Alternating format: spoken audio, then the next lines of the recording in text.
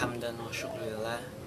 الحمد لله الحمد لله الذي أرسل رسوله بالهدى ودين الحق ليظهره على الدين كله وكفى بالله شهيدا. أشهد أن لا إله إلا الله وحده لا شريك له وأشهد أن محمدا عبده ورسوله الذي لا نبي بعده. أعوذ بالله من الشيطان الرجيم. يا أيها الذين آمنوا إن تنصروا الله ينصركم ويثبت أقدامكم.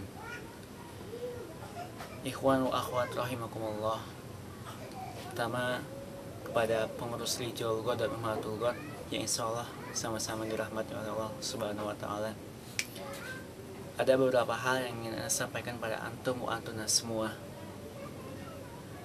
Kalau kita beranjak pada ayat yang tadi saya bacakan adalah surat Muhammad ayat 7 yang artinya kurang lebih wahai orang-orang beriman jika kamu menolong agama Allah, niscaya Allah akan menolongmu dan meneguhkan kedudukanmu. Ya, hal yang ingin saya sampaikan berkaitan dengan ayat tadi. Antum dan antuna semua adalah pengurus Rijal God dan Umatul God. Pemimpin-pemimpin yang ada di pesantren, terutama untuk mensejahterakan para anggota-anggotanya. Sekarang antum semua punya kewajiban kewajiban yang harus antum lakukan. Ketika antum menjadi seorang pengurus dari jauh God maupun umatul God apa kewajiban antum? Kalau saya lihat di e, berdasarkan keadaan sekarang dari jauh God dan umatul God ada yang perlu menjadi suatu catatan. Yang pertama masih belum ada di antara antum dan antuna eksistensi akan keberadaan antum.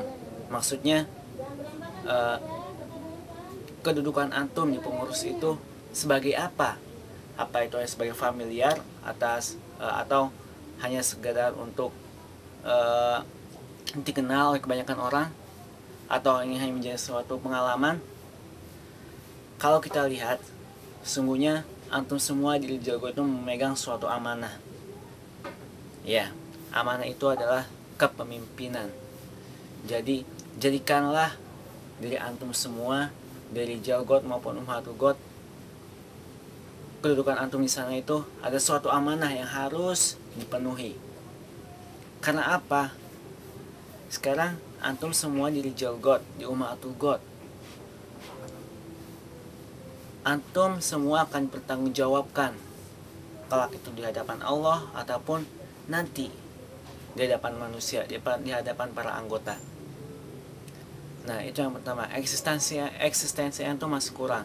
Kalau kita lihat sungguhnya pengurus itu harus mengetahui yang namanya bahwa pengurus itu adalah untuk berbaskan dakwah. Ya, itu. Kita harus bisa menjadikan diri kita, diri Jalgot maupun Matogot itu harus berbasiskan dakwah. Itu yang pertama. Kemudian yang kedua, yang kedua kalau anda lihat di Rijal God maupun Mahatul God itu yang kurang adalah sistem kaderisasi. Sistem kaderisasi itu harus dibenarkan, terutama harus mempunyai alur jalan yang jelas. Kalau kita lihat sekarang kita di dunia, kita berjalan di dunia itu mempunyai alur, alur cerita kita itu harus begini, harus begini, harus begini bertahap sama begitu pun dengan organisasi.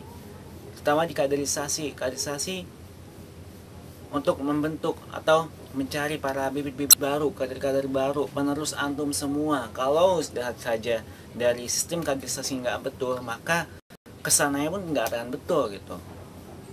Kalau kita semua sudah mempunyai rentetan alur kaderisasi, alur pertama itu seperti ini, kedua seperti ini, ketiga seperti ini, maka akhirnya kalau sudah punya alur seperti itu insya Allah pasti akan ada yang namanya